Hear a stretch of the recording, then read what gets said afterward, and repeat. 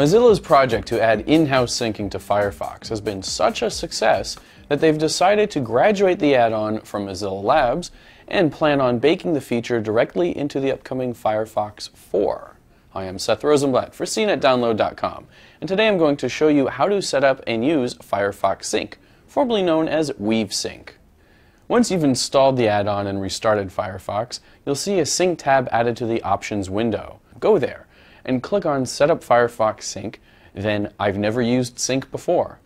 Fill out the form and note that if you're worried about the privacy of your data, you can always host Sync on your own server.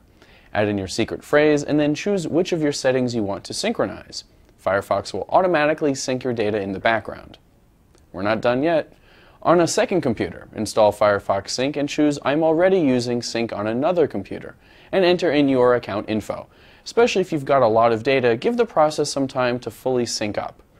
While most features are accessible from the locations you'd expect to find them in, bookmarks are in your bookmarks folder, for example, open tabs synced from another computer can be accessed from the history menu under tabs from other computers.